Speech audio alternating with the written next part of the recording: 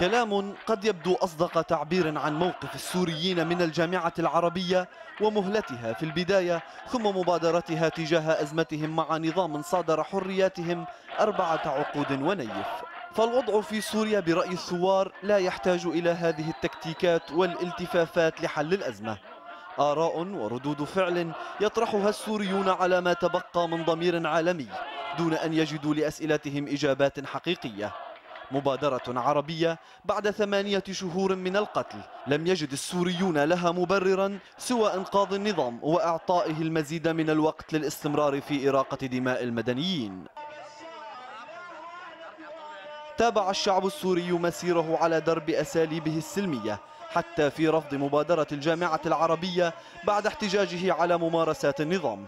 رفع لافتات بلغات متعددة وضح فيها موقفه من دبلوماسية البيت العربي والمواقف العالمية إزاء ما يتعرض له من عمليات عسكرية وأمنية.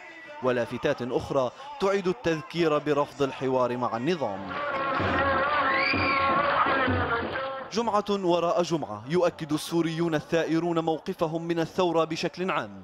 ففي جمعة شهداء المهلة العربية اعتبروا أن من لا يجد سببا يموت من أجله فهو لا يستحق الحياة.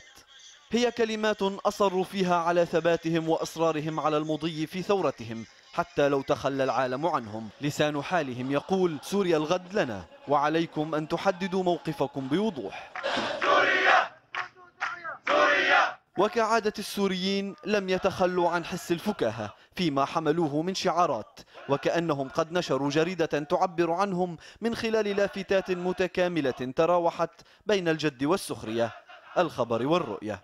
هي إذا رسائل لا لبس فيها يوجهها الشعب السوري بسلمية وأسلوب راق علها تصل إلى آذان الجامعة العربية فتغير من موقفها وتتخذ خطوات أكثر صرامة قبل أن تسقط في نظر الشعوب كما سقطت في نظر هؤلاء المتظاهرين.